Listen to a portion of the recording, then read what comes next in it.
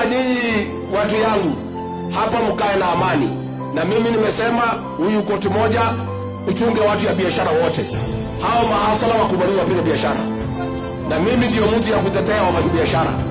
Huyu koti moja akinyanyasa nini, munipigie simu.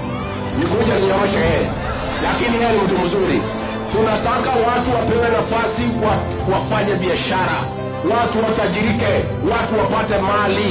Ndio watu wamekuja hapa town kutafuta hii, na nilimwambia nyinyi, nikipumzika kidogo, nikimaliza maliza kazi, nitakuja nifundishe nyinyi hii hii. Unaelewa hii hii sabuni ya roho hii hii maneno nataka nipatie nyinyi mpaka shi- mshike hii kitu iko sawa.